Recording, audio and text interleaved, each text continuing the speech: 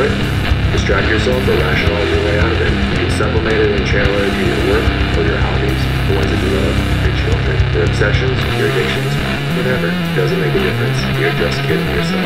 And you know the best part about it? Once you realize that, you can't unlearn it.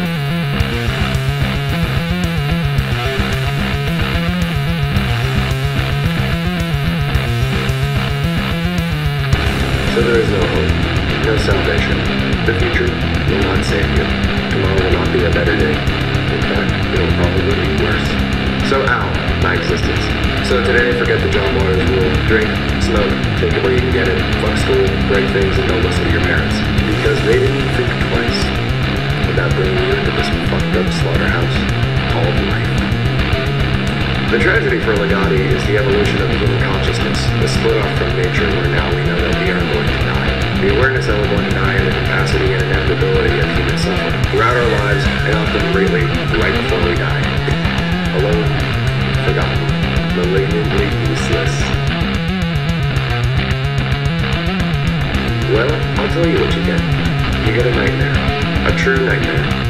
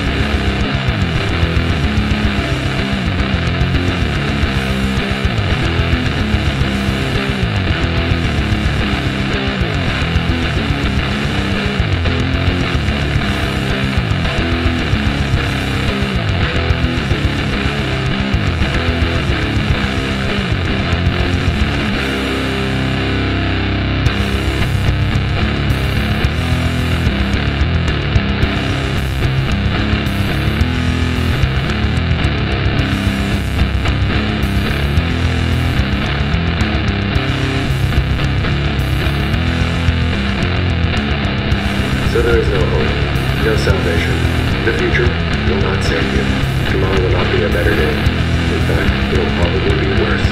So ow, my existence. So today, forget the John Waters rule. Drink, smoke, take it where you can get it. Fuck school, break things, and don't listen to your parents. Because they didn't think twice about bringing you into this fucked up slaughterhouse called life.